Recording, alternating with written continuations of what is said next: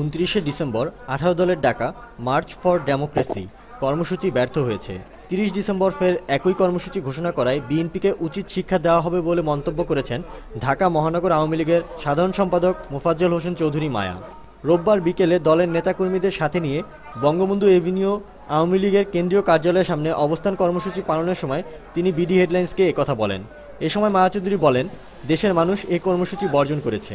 খালেদা জিয়ার আজকে যে কর্মসূচি ছিল, ঢাকা জমায়েত, সন্ত্রাসীদের, এটা সারা বাংলাদেশের মানুষ প্রত্যাখ্যান করেছে এবং তার দাঁত ভাঙা জবাব দিয়েছে। আগামীকাল যদি খালেদা জিয়া এই ধরনের কোনো কর্মসূচি দিয়ে থাকে, কালকে আরও তাকে দত- ভাঙা জবাব দেওয়া হবে।